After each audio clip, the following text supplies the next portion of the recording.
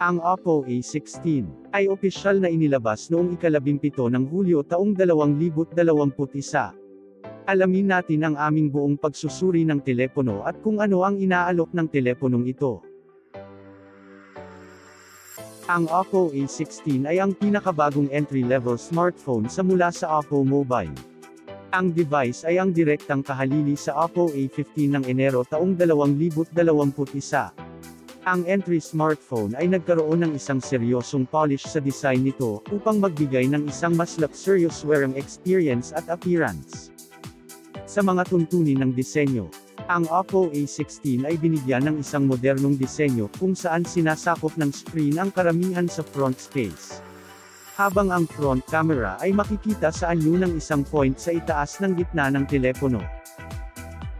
Ang screen ng telepono ay nasa uri ng IPS LCD na may 269 na pixel bawat pulgada, na nangangahulugang ang telepono ay maaaring hindi gumanap ng maayos sa ilalim ng direktang sikat ng araw, at ang laki ng screen ay 6.52 pulgada, o may body-to-body ratio na 88.7 na porsyento na kung walang layer ng proteksyon, ang screen ng telepono ay mas madaling kapitan ng mga gasgas at bali.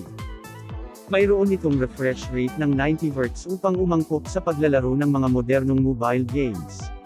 Ang sensor ng fingerprint ay nasa gilid ng telepono bilang bahagi ng pag-update sa disenyo. Ang pangunahing material nito ay gawa sa plastic.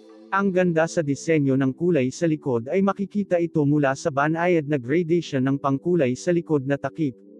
Kapag tiningnan mula sa ibang anggulo, lilito ito isang kaakit-akit na sparkle accent. Ang mga gumagamit ay binibigyan ng mga pagpipilian sa kulay tulad ng pearl blue, space silver, at crystal black. Ang ilan sa mga kapansin-pansin na pag-upgrade sa bagong modelo ay may kasamang isang ang kamakailang operating system na Android 11 Plus Color OS 11.1.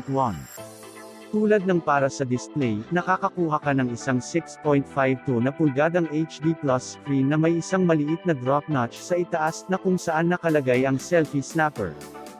Sa loob, pinapatakbo ito ng MediaTek Helio G35 octa-core CPU clock at 2.3 GHz, kasama ang Power VR GE8320 GPU. Kasama sa pagpipilian sa storage ang 4GB RAM at 64GB ROM, expandable hanggang sa 256GB sa pamamagitan ng SD card. Nagtatampok ito ng Bluetooth 5.0, GPS na may AGPS, GLONASS, Galileo, BBS, QZSS, at USB Type-C 2.0 USB on the go. Ngayon para sa mga camera. Nakakakuha ka ng tatlong lenses sa likuran, isang 13 megapixel pangunahing snapper at isang hanay ng dalawang mga dalawang megapixel sensor para sa lalim at mga macro shot ayon sa pagkakabanggit. Ang isang solong LED flash ay ginagamit din sa likuran, habang ang mga 8 megapixel selfie lens nakalagay sa isang notch sa harapan. Ang aparato ay mayroon din sa isang gilid na nakamount na fingerprint scanner, Face ID at dalawahang mga nano SIM na may suporta na S4G LTE. Ang aparato ay pinalakas ng isang hindi natatanggal na lipo 5000 mAh na baterya.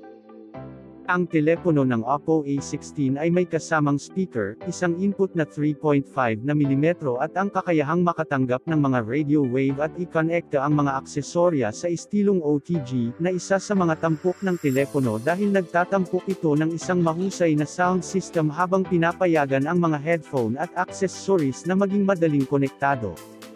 Sa aming test sa ilang araw na paggamit, ang Oppo A16 ay medyo maganda at mahusay ang pagpapatakbo ng mga application ng pagmemensahe, pagbubukas ng mga application ng balita, pagtingin sa mga video ng TikTok, pagbrowse sa mga application ng social media, sa streaming ng mga video sa maraming mga application at laro. Ang device na ito ay lubos ding maaasahan na gamitin sa buong araw salamat sa kanyang malaking kapasidad sa baterya, na kung saan ay 5,000 mAh. Nagbibigay ito ng kaginhawaan para sa mga gumagamit na kahit hindi mag-charge ng madalas. Mula sa umaga hanggang gabi maaari kang magsagawa ng iba't ibang mga aktibidad gamit ang aparatong ito. Ano ang lubos na kagiliw-giliw sa entry series ng Oppo ay ang suporta para sa feature na laro nitong Game Space. Ang feature na maaaring magbigay ng isang pinakamainam na karanasan kapag naglalaro ng larong ito, ay isang pangunahing tampok sa smartphone ng Oppo. Maganda din ba ito sa mga popular na online games? Mula sa maraming beses na paglalaro ng regular na mga laro ng MOBA genre tulad ng AOV, sa palagay ko ang karanasan sa paglalaro ay napakahusay. Ang pakiramdam sa gameplay ay smooth at fluid. Wala akong naramdaman na nakakainis na mga problema habang nilalaro ito.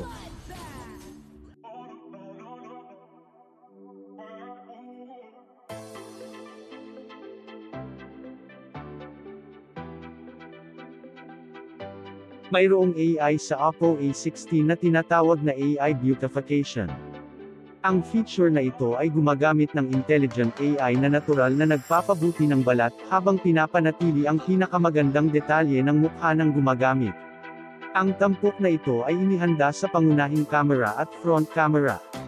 Ginagawa nitong mas natural at maganda ang itsura ng mukha ng subject sa mga larawan. Ang seryeng ito ay nilagyan din ng isang night mode. Nangangahulugan iyon na maaari kang maging malikhain sa pagkuha ng mga larawan sa gabi o sa napakababang mga kondisyon. Kahit na hindi nito aalisin ang image noise, nag-aalok pa rin ang tampok na ito ng medyo magandang kalidad ng night photography.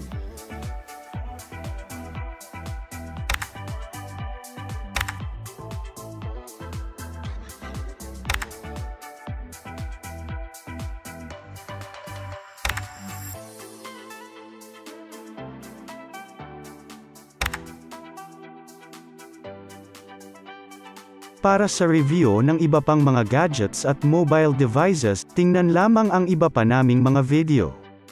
Maraming salamat at sundan ang susunod na review at unboxing. Huwag din kalimutan mag-like at share.